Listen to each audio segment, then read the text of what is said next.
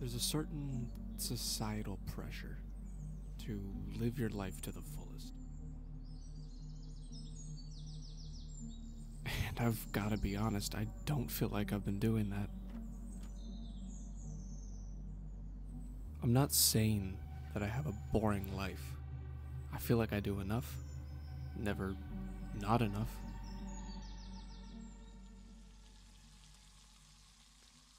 But it would be a lie to say that I always feel fulfilled in my daily life.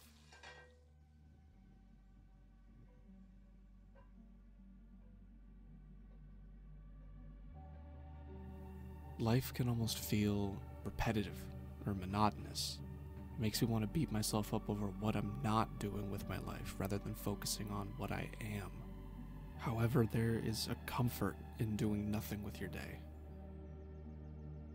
Minutes feel like hours. The responsibilities in your life are taking a back seat for once.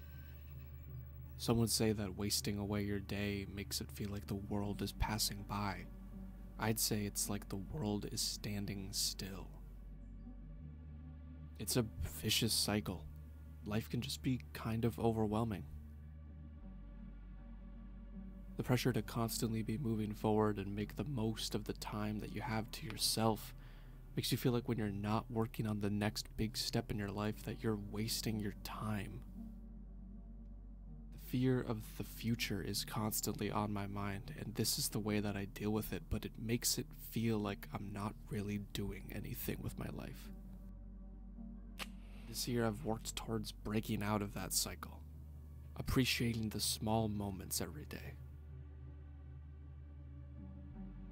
The cold morning air as I take my ride to school every morning, the small interactions that I get to have with people at work, the productivity that I feel doing my job, or the freeing feeling of getting to finally go home.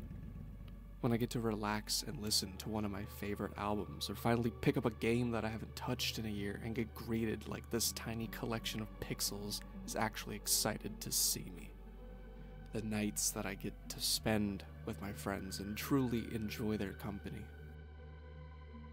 There are memories, days that stand out that I'll always remember, but it's important to realize that within the days between those memories, there are still small moments to appreciate. That power to appreciate the small things gives us the ability to live more in the moment to appreciate what you have, where you are, and even if you're not perfect now, you're better than you once were. Something that I've started doing this year to capture and immortalize the small moments in my life is taking a photo every single day. It's not the thousands of photos that you're able to capture on your phone in an instant. It's one photo. It's one chance reliving these small moments in my life through this photography is able to give me perspective and realize that I do more in my life than I think I do. We all do. It's about time we start appreciating these moments in time that drive us to becoming who we are today. Because without those, life becomes a checklist, not a journal.